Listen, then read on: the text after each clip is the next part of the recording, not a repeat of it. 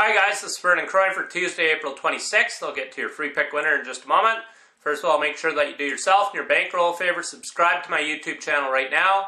I'm currently on a 99 and 80 free picks run. Subscribe to my YouTube channel right now.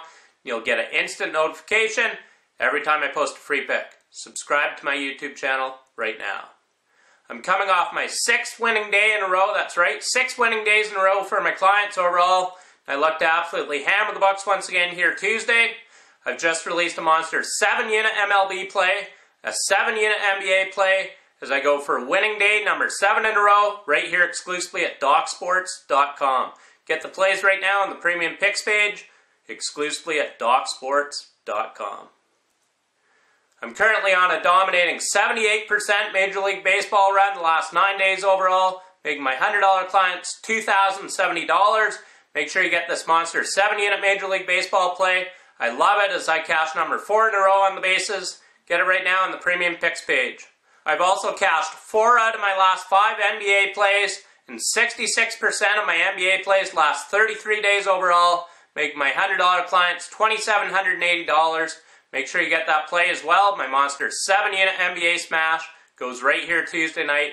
Get it on the Premium Picks page exclusively at DocSports.com.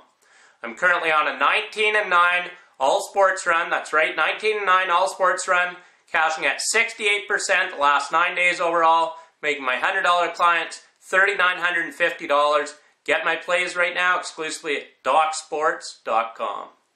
Your free pick winner for Tuesday, April 26th, we're taking the Boston Atlanta game to go under the post total of 199.5. The over-under is 5 and 11 in the last 16 games played between these two teams. The over-unders 0-6 for the Hawks in their last six games after failing to cover the spread in their previous game. So once again, your free pick winner for Tuesday, April 26th.